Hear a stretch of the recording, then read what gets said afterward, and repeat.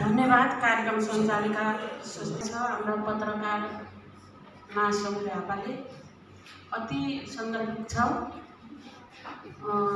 लैङ्गिक हिंसा न्यूनीकरण सञ्चार क्षेत्रका जुन आज कार्यक्रमका सह अध्यक्ष महोदयज्यू प्रमुख सबै कुरो आइसकेको छ तर हामी पनि उन्साठी सालमा दर्ता भएर यो संस्था चाहिँ कुनै संस्था त्यतिखेर महिलाहरू थिएनन्।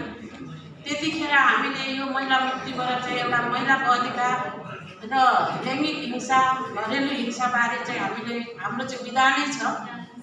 हामी हिंसा सम्बन्धी नै काम गर्ने हौँ मध्यस्थकर्ता हौँ र हामीले हाम हाम्रो संस्थामा काम गर्नेले एउटा वकिलकै निर्वाह गर्नुपर्छ किन अनुमल कुइनीको पनि उहाँको शब्दहरूलाई पनि म मध्यस्थकर्ता यो महासङ्घ केन्द्रमा पनि छ।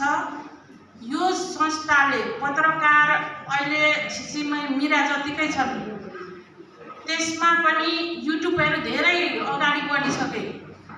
युट्युबले चाहिँ यस्तो कि बुढाबुढी भित्र के गर्छन् त्यो पनि बाहिर निकालिदिन्छ। तिनीहरूलाई कारवाही गर्नुपर्छ।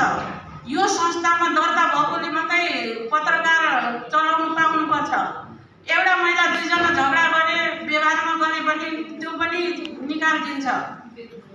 के अरे इन्टरनेट उसमा संसार देशभरि नेपालकै सरकारकै बेइज्जत गर्छ देशकै बेइज्जत गर्छ बदनाम गर्छ महिलाहरूको।